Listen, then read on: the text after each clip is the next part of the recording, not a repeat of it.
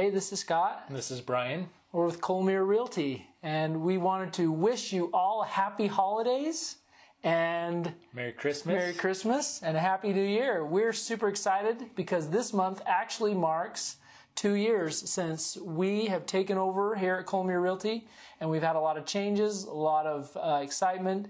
We just wanted to thank everybody, our clients and friends. We could not have come this far without you. That's the truth. We really couldn't. So we, we do appreciate all of our clients. We love you, and we really do love you, actually. But uh, and we love everyone that we work with. We're super blessed. We're super super grateful for um, what we're doing here and, and how we're able to help all of you. Yeah, so have a Merry Christmas, Happy Holidays, Happy New Year, and thank you. We look forward to an awesome 2018. Thanks.